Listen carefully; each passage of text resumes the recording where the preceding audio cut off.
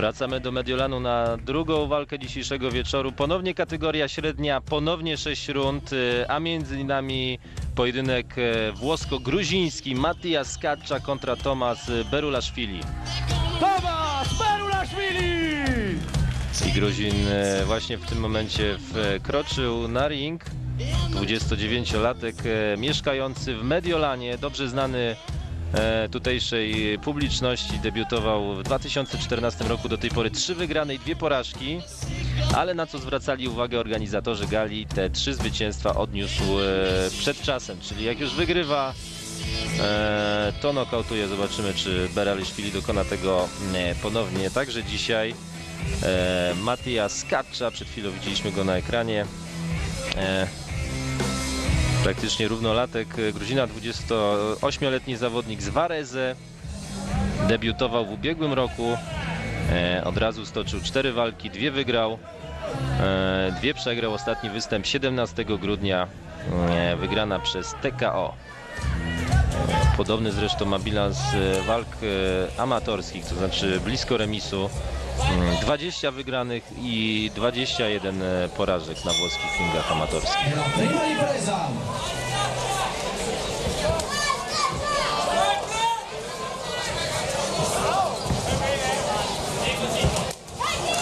No i od razu mocno trafił Gruzin prawą ręką. Zmienia często Beruraswili swoją pozycję, ale teraz widzieliśmy jaka obrona przed lewym sierpowym Włocha. Mocno podniesiona broda do góry, takie odchylenie bardzo niebezpieczne dla niego. Ogólnie już widać, że poziom techniczny tego pojedynku nie będzie zbyt wysoki i ponownie wysoko uniesiona broda. Poziom techniczny wysoki nie będzie, gardy też wysoko uniesione nie będą, ale to będzie, będzie dużo mocnych ciosów i dużo wymian. Mocnych ciosów też może nie, ale, ale emocji będzie z pewnością wiele.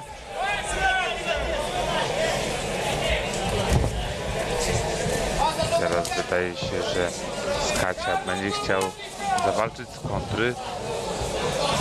Się za podwójnym blokiem. Jakby kumulował energię, jakby zbierał siły na ponowny atak. Widać, że obaj dosyć krępi, mocno zbudowani jak na tą kategorię wagową.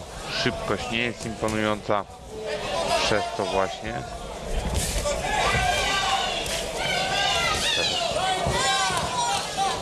Sporo ciosów celnych. Perula Szpiego. Cały czas e, podpowiedzi ze strony narożnika do Gruzina, by bił e, ciosami sierpowymi. No i proszę, wprowadza to w e, życie od razu. Generalnie nic innego nie robi jeden i drugi. Korzysta tylko z ciosów sierpowych, teraz bez skrętu te ciosy tłów, ale jednak zrobiły odpowiednie wrażenie, bo były celne.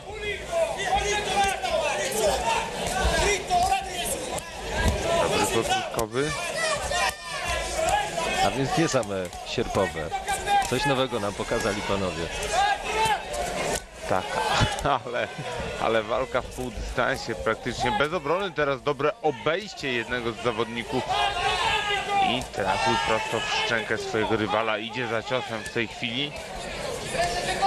Widzimy dużo uderzeń otwartych, otwartą rękawicą, skąd ta moc, mimo, tak jak wspominałem, dosyć solidnej budowy ciała, nie jest duża. Ale ciosy zadawane non stop, jakby panowie stresowali się trochę sytuacją w momencie, kiedy żaden z nich nie zadaje ciosu. Uznają, że najlepszą obroną jest atak i proszę bardzo. No, trzeba powiedzieć bardzo intensywna pierwsza runda. Ciekawe jak to będzie wyglądało w kolejnych odsłonach, jak to panowie e, wytrzymają kondycyjnie, bo tutaj e, akcja właściwie non stop, cios za cios. Myślę, że obaj nie oddychają podczas zadawania tych ciosów już na miękkich nogach. Jeden i drugi schodził do narożnika. Wydaje mi się, że jeśli któryś z zawodników nie znokautuje drugiego, no to będziemy się męczyć tym pojedynkiem, bo Razem No. z nimi. razem z nimi bo to trochę wygląda jak na weselu.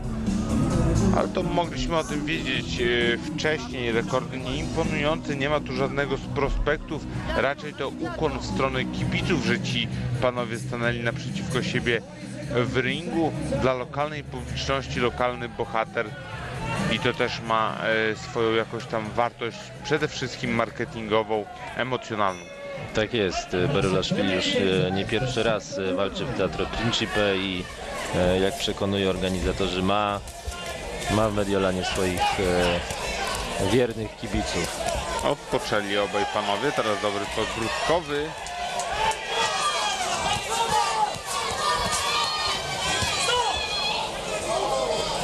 Teraz uderzenia w tył głowy, ostrzeżenia. ale ładnie e, przeprosił tutaj e, Skacza.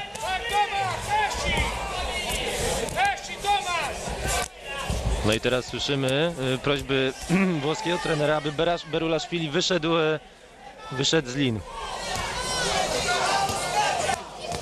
Rzeczywiście dał się tutaj zepchnąć do defensywy od początku drugiej rundy.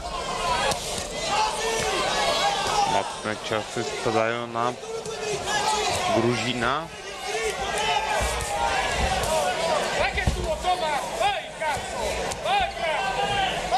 No i już się pojawiły w ustach trenera e, słowa niecenzuralne.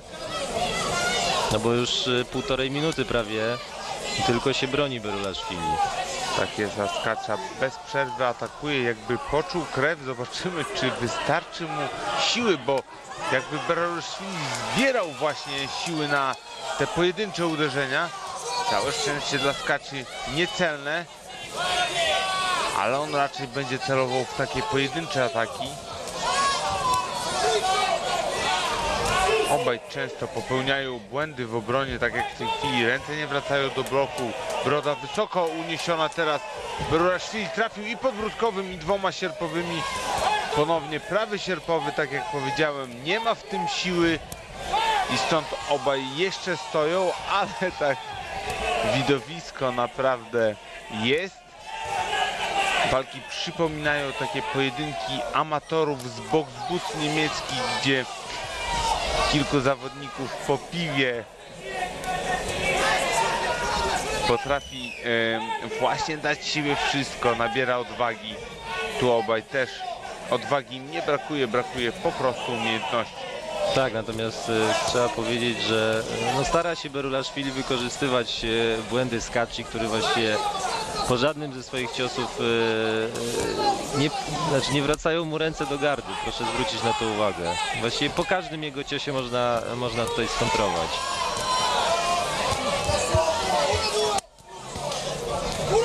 Kompletnie opuszczone ręce Włocha.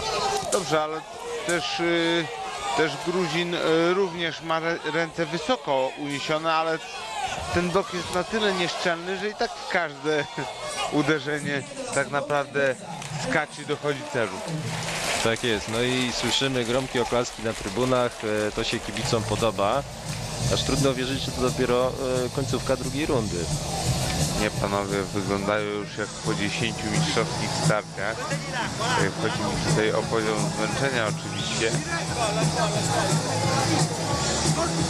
Tak, to tylko ambicja trzyma ich na nogą e, i wola zwycięstwa.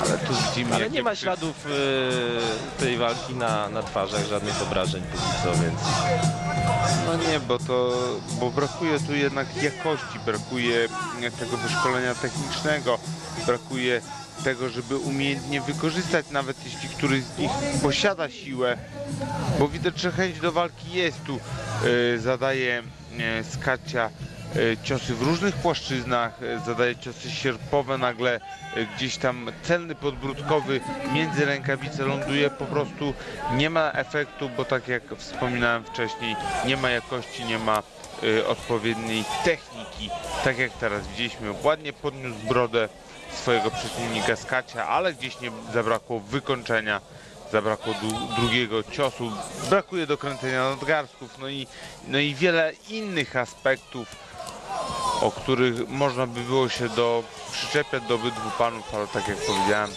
prawdopodobnie boks stanowi tylko i wyłącznie rozrywkę, gdzieś tam dla nich jakieś hobby, dodatkowe zajęcie na pewno nie jest celem ani źródłem otrzymania. No tak, natomiast y, powiem szczerze, Skacza trochę, trochę czasu na ringach amatorskich spędził, kilkadziesiąt walk stoczył. Mimo wszystko y, troszeczkę więcej się po nim spodziewałem. No, ale faktycznie, no kokosów y, na walkach bokserskich na pewno obaj panowie nie zbiją. Jest to dla nich zajęcie dorywcze. O teraz wreszcie mm, jakby badał dystans Kacza prawą ręką, odchylił się, skontrował, ale już zapomniał o tym, że potrafi w jakimś tam minimalnym poziomie boksować. No i przeszedł do półdystansu, gdzie te ciosy jednak e, pozostawiają wiele do życzenia, tak jak powiedziałem. Większość bitych otwartą rękawicą. No i na razie może nie bohater, ale jeden z e, lubianych przez mediolańską publiczność e, zawodników e, przegrywa, bo wydaje mi się, że Berelaszwili nie, tutaj raczej na punkty póki co. Na pewno jest z tyłu. Inicjatywa niemal od początku należy do Mati Skacci.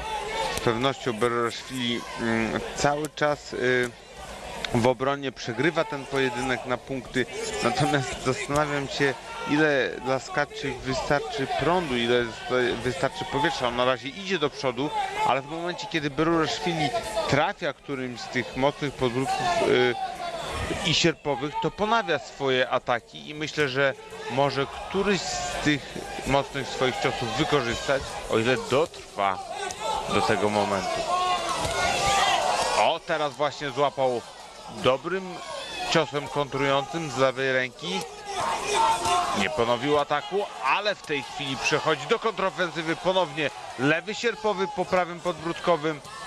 Może przyjąć skacza yy, nawet soczyste uderzenie, tego nie można mu odmówić. Proszę bardzo, broda uniesiona do góry, a mimo to te ciosy na szczękę po nim spływają. No tak, ale ewidentnie uaktywnił się pod koniec trzeciej rundy Berulaszwili. Kilka mocnych ciosów doszło do głowy Skacci. Zobaczymy jaki to będzie miało efekt. No a kto wie, może Gruzin y, przejdzie do inicjatywy. Tutaj jeszcze wszystko może się wydarzyć, dopiero jesteśmy na półmetku. No a tak jak e, wspominałem na początku, jest w stanie Gruzin zakończyć walkę również e, przed czasem.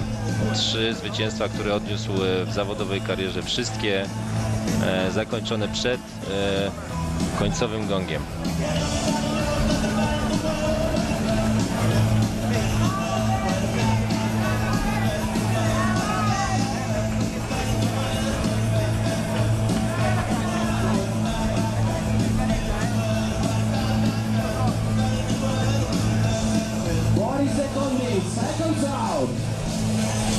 Zaczynamy czwartą rundę. Obaj zmęczeni, natomiast e, żadnych kontuzji, rozcięć, a więc walczymy dalej. Zaczyna tradycyjnie e, skacza tymi e, ciosami takimi no specyficznymi, specyficznymi powiedzmy, ale o tym już żeśmy mówili.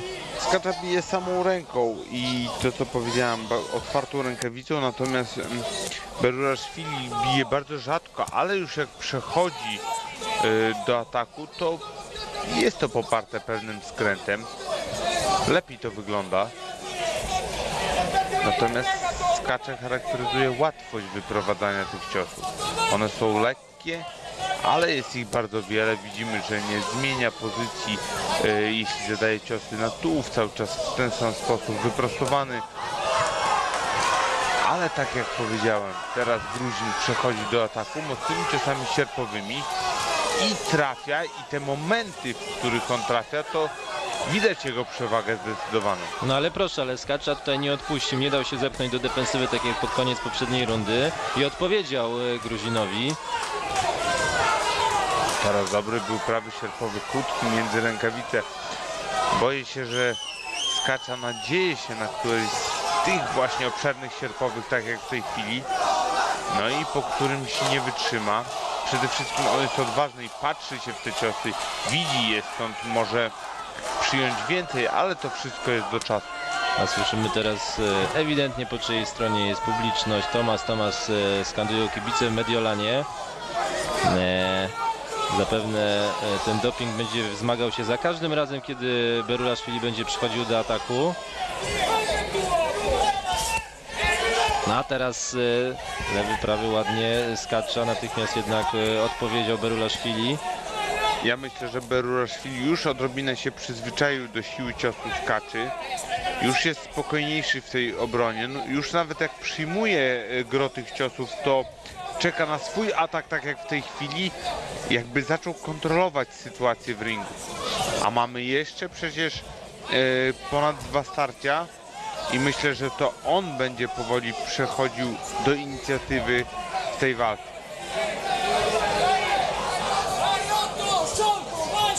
Teraz próbował e, prawym podbródkowym uderzyć Berulashvili, ale przystrzelił. Jeśli chodzi o ciosy podbródkowe, no to Skacza jest tutaj dokładniejszy, natomiast e, na twarzy Włocha wreszcie pojawiło się rozcięcie, jest więc e, kontuzja. Gdzieś w okolicy prawego oka. No i zaraz zobaczymy w narożniku, czy to jest, e, na ile poważna jest ta kontuzja. No i już ciężko stawiał nogi Skacza, kierując się do narożnika.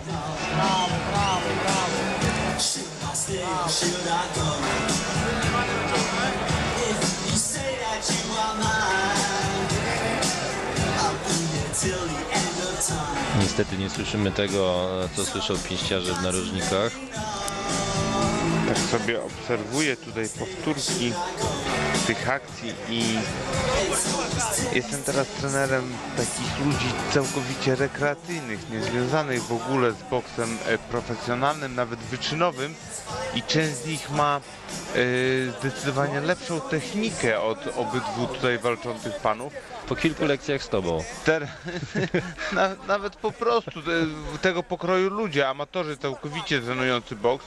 Do tego teraz są popularne ligi białych kołnierzyków i część z tych właśnie em, panów mających zamiar brać udział w takich akcjach myślę, że prezentuje zdecydowanie wyższy poziom.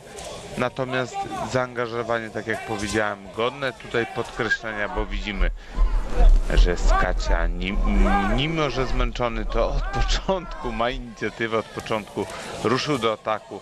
A tak jak powiedziałem, Gruzin będzie czekał na swoje momenty do zadania mocnego, kontrującego ciosu, tak jak w tej chwili. Ale tutaj akurat y, była ręka wysoko i obronił się Skacza, zablokował ten cios.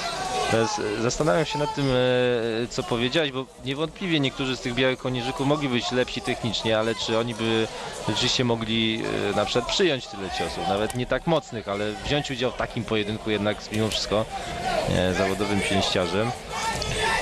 Właśnie, właśnie byłem na jednym z takich, e, z takich mini turniejów organizowanych na potrzeby jakiegoś piloto, e, pilotu mm, e, programu telewizyjnego i z pewnością zawodnicy, którzy pierogarze e, czy pracownicy kina i inni e, tego, tego typu ludzie mający takie zajęcia uwierz mi szczerze, że potrafili przyjąć bardzo mocne uderzenia. Ambicja trzymała ich na nogach właśnie tak jak obu panów.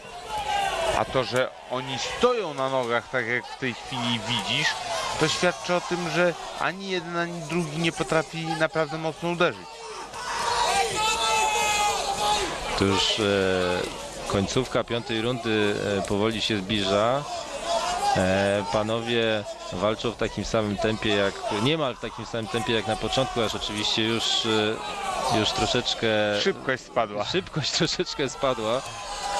Natomiast proszę, Berulashvili chyba sześć ciosów e, prawą ręką z rzędu. Ja myślę, że Beruraszwili teraz y, trafił mocno swojego przeciwnika i go zamroczył. No, możesz mieć rację, możesz mieć rację. Chyba w opałach e, po raz pierwszy znalazł się Skacza. Jeszcze 40 sekund do końca piątej rundy. A najlepsze jest to, że Buraszwili, mimo że nie miał w ogóle siły, to teraz jak trafił mocno swojego rywala, to niemal nie przestaje zadawać ciosów. Przekłada się z nogi na nogę Są to dosyć mocne uderzenia, ale skacza jakby miał szczękę z betonu. Tylko No i, no i wypompował się trochę Berulaszwili po kilkudziesięciu sekundach.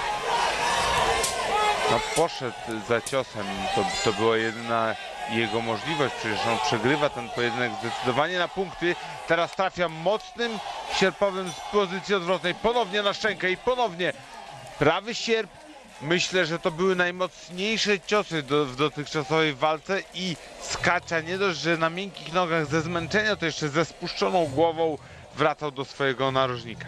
E, Z kolei Berulaszwili wydawało się, że w pierwszej chwili skieruje się do nie swojego narożnika, tak więc też e, e, no nie chciałbym tutaj szafować takimi określeniami, ale wydaje mi się, że już no naprawdę na skraju wyczerpania są obaj zawodnicy. Na jeszcze 3 minuty trzeba będzie tutaj poboksować. No to może być interesująca runda, naprawdę. Zwłaszcza, że ciekawie może być też, e, jeśli chodzi o werdykt punktowy. Myślę, że e, sędziowie mogą tutaj przychylnym okiem e, patrzeć na Berulaszwilego, natomiast no, sam nie wiem, jakbym to punktował w gruncie rzeczy. Może w okolicach remisu, no.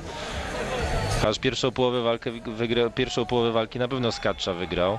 Natomiast e, ciekawie jak sędziowie e, oceniliby te zrywy Berulaszwilego, podczas których naprawdę po kilka razy trafiał czystymi ciosami. Trzy rundy e, prawdopodobnie na 100% e, powędrowały na korzyść e, Skaci. Beroraszwili e, z pewnością wygrał starcie numer 5. Być może te zrywy w starciu numer 4, ta końcówka też mu dały zwycięską rundę, także jeśli Beruraszwili wygrałby tę rundę, to jest szansa na remis, ale Skacia trafia teraz mocnym podbródkiem i to on jakby miał inicjatywę. Tak, wydaje się, że te 60 sekund bardziej pomogło jemu. E, zdecydowanie na bardziej zmęczonego wygląda Berulaszwili. No i jeżeli według naszych e, prognoz tutaj w rundach by było powiedzmy 3-2 dla Skaci, no to musiałby tą e, rundę wygrać Gruzin, żeby chociaż zremisować. Natomiast e, nie wydaje się, żeby miał rzeczywiście pokazać sędziom, że w tej odsłonie jest lepszy. Beruraszwili jest w tej chwili na skraju nokautu. To prawda. No i bardzo uważnie tam sędzia na to patrzy. Tak jest, wystarczy. Może to nie był najlepszy moment do przerwania tego pojedynku, natomiast faktycznie nie odpowiadał przez dłuższy czas. Beruraszwili on oczywiście czekał na zryw.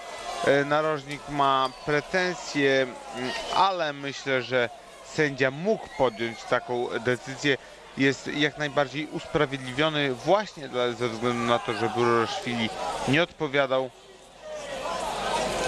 No i może mieć pretensje tylko i wyłącznie do siebie, że taka sytuacja ma miejsce.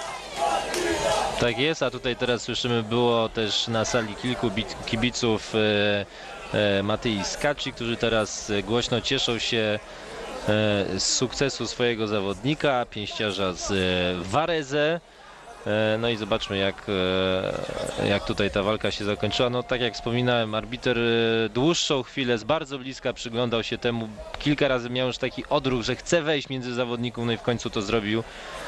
Tutaj widzimy rzeczywiście trener Gruzina ma pretensje e, do sędziów, natomiast, bo prawdopodobnie mógłby dotrwać do końca pojedynku. Nie, tak jak wspominałeś wcześniej, przyzwyczaił się do e, siły ciosów e, Skacz i prawdopodobnie ten nie powaliłby go żadnym z nich, natomiast e, no chyba jednak słuszna decyzja e, sędziego. No, należy odpowiadać po prostu w takich sytuacjach, a, a Berulaszwili tylko e, kolejne ciosy przyjmował. Sabe non puoi riposare. Cazzo. No jeśli dobrze zrozumiałem, to Berulaszwili mówił, mówi trenerowi, że po prostu odpoczywał.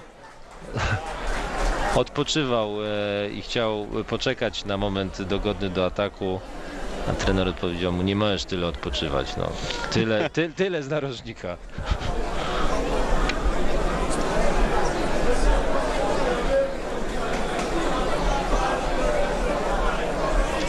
Tutaj jednak sędziemu trzeba pokazać, że się kontroluje sytuację, a, a myślę, że arbiter e, ringowy mógł, mógł mieć wątpliwości.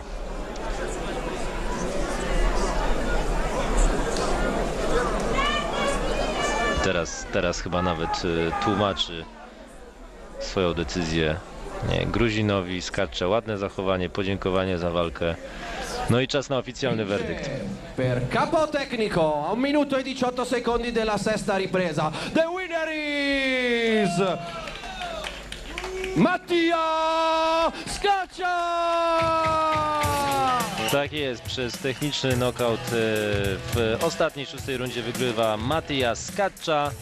To jego trzecie zwycięstwo e, w zawodowej karierze, a my już czekamy na kolejne pojedynki w Teatro Principe w Mediolanie. Kolejnym będzie e, walka w kategorii super e, półśredniej pomiędzy Ogniem